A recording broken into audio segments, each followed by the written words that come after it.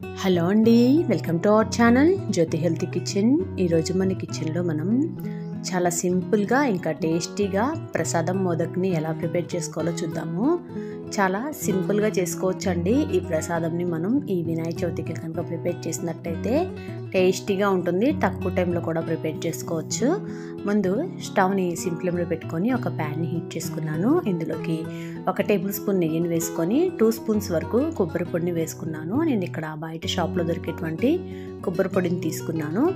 ఇలా ఈ కొబ్బరి అనేది ఫ్రై అయిన తర్వాత ఇందులోకి ఒక కప్పు బొంబాయి రవ్వను వేసుకొని ఈ రవ్వ కూడా పూర్తిగా ఫ్రై అయ్యేంత వరకు ఒక రెండు మూడు నిమిషాలు కంటిన్యూగా కలుపుకుంటూ ఫ్రై చేసుకుంటున్నాను. ఈలోపు ఒక గిన్నెలోకి ఏ కప్పుతో అయితే రవ్వ తీసుకున్నామో. అదే కప్పుతో రెండు కప్పుల వాటర్ని తీసుకొని ఇంకొక స్టవ్ పైన పెట్టుకొని వాటర్ అనేవి వెయిట్ చేసుకుంటున్నాను. ఈ విధంగా రవ్వ అనేది ఫ్రై అవుతున్నప్పుడు ఇందులోకి సన్నగా చాప్ చేసి పెట్టుకున్నటువంటి కాజు బాదాంని కూడా వేసుకొని ఫ్రై చేసుకుంటున్నాను. ఈ విధంగా ఒక వన్ మినిట్ వరకు ఫ్రై చేసుకోవాలి. అలాగే ఇక్కడ మనం ముందుగా పక్కన పెట్టుకున్నటువంటి వాటర్ కూడా మరుగుతున్నాయి. ఇప్పుడు స్టవ్ ఆఫ్ చేసుకొని ఆ వాటర్ని కూడా రవ్వలోకి వేసుకొని ఈ రవ్వ ఉడికేంత వరకు ఉడికించుకోవాలి. ఒక కప్పు రవ్వకి రెండు కప్పుల వాటర్ అయితే పర్ఫెక్ట్గా సరిపోతాయి. ఇలా ఈ రవ్వ వాటర్ని అంతా పీల్ చేసుకొని దగ్గరికి పడేంత వరకు ఒక టూ మినిట్స్ వరకు కంటిన్యూస్గా కలుపుకుంటూ మనం కుక్ చేసుకోవాలి. చూడండి ఇలా రవ్వ దగ్గరికి పడుతుంది కదా ఉండలు కట్టుకున్న మనం ఈవెన్గా కలుపుకుంటూ ఉండాలి. ఇలా దగ్గరికి పడిన తర్వాత ఇందులోకి మిగిలిన ఇంగ్రీడియంట్స్ని కూడా వేసుకోవాలి. మీకు ఇంట్రెస్ట్ ఉంటే ఇందులోకి ఇలాచీ పౌడర్ని వేసుకోవచ్చు. నేనైతే ఇక్కడ వేయలేదు.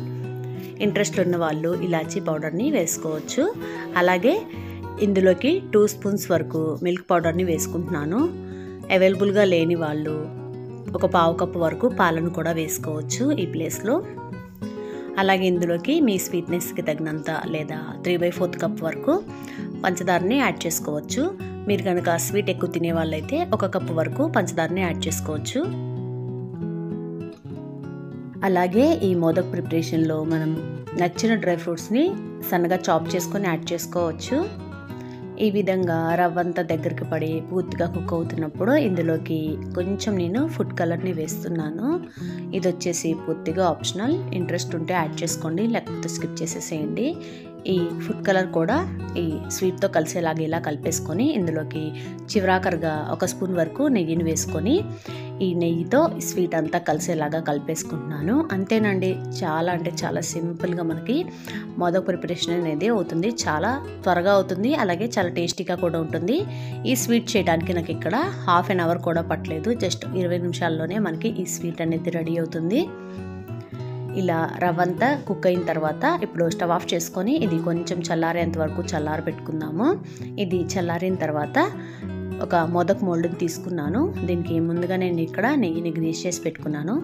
ఇప్పుడు ఈ మోల్డ్కి తగినంత ఈ స్టఫింగ్ని పెట్టేసుకొని ఇలా ఈవెన్గా ప్రెస్ చేసుకొని ఇంకా ఏమన్నా లోపల గ్యాప్ కనుక ఉన్నట్టయితే కొంచెంగా మనం ఈ మిశ్రమాన్ని పెట్టేసుకున్నట్టయితే మనకి సింపుల్గా మోదక్ అనేది రెడీ అవుతుంది. చాలా సింపుల్గా ప్రిపేర్ చేసుకోవచ్చు అండి స్వీట్ షాప్లో కంటే ఇంట్లో చేసుకున్నటువంటి మోదక్కే చాలా బాగుంటాయి. ఒక్కసారి ట్రై చేసి చూడండి. ఈ ప్రాసెస్లో పర్ఫెక్ట్గా మోదక్స్ అనేవి ప్రిపేర్ అవుతాయి. పిల్లలు అయితే చాలా ఇష్టంగా తినేస్తారు. ప్రసాదంగా కూడా ప్రిపేర్ చేసి పెడుతున్నాం కాబట్టి చాలా తక్కువ టైంలోనే మనకి ఈ ప్రసాదం అనేది ప్రిపేర్ అవుతుంది. హడావిడి లేకుండా. ఇదే విధంగా మిగిలిన మోదక్ని కూడా నేను ప్రిపేర్ చేసుకొని ఒక సర్వింగ్ ప్లేట్లోకి సర్వ్ చేసుకుంటున్నాను. చాలా సింపుల్గా ప్రిపేర్ చేసుకున్నాం కదా. చూశారు కదా? ఈ వీడియో కనుక మీకు నచ్చినట్టయితే తప్పకుండా ఈ వీడియోని లైక్ చేయండి. మీ ఫ్రెండ్స్ ఇంకా ఫ్యామిలీ మెంబర్స్తో ఈ మోదక్ రెసిపీని షేర్ చేయండి. అలాగే ఇలాంటి మరెన్నో నోటిఫికేషన్స్ కోసం వెంటనే మన ఛానల్ని సబ్స్క్రైబ్ చేసుకొని పక్కన ఉన్నటువంటి బెల్ ఐకాన్ ప్రెస్ చేయండి.